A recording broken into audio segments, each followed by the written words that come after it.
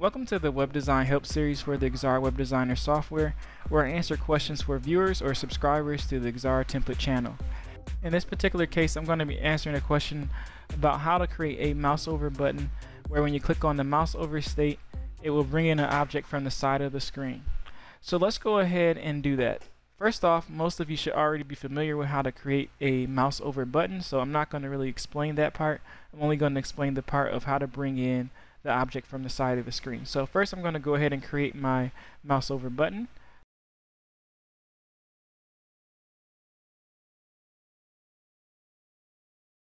So now we have our mouse over button.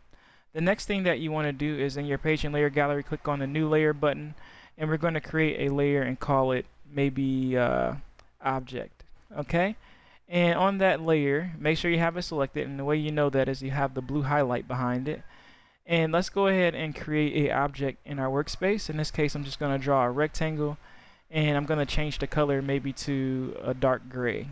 Okay, and now we have an object in our workspace. The next thing that you want to do is click on the button that we created, right click on it, go to web properties, and under web properties make sure you're under the link tab and under that tab we're going to click on the pop-up layer option and in the drop down menu we want to select the text object. And that's basically selecting the layer that we created in the page and layer gallery called object. And that's the layer that that object is going to come in on okay? In this case the you know dark gray rectangle that we created. So let's go ahead and click on settings. And then under the transition effect we're going to change that to slide in from right. Once you have that set and you have the speed set as well for what you want it to be let's go ahead and hit the OK key and then hit OK here and then hit F5 to preview it. And if we place our cursor over this button, you see that it highlights it to green. And if we left click on that, you see that the object slides in from the right. So that is how you create a mouse over button that makes an object slide in from the right when you click on it.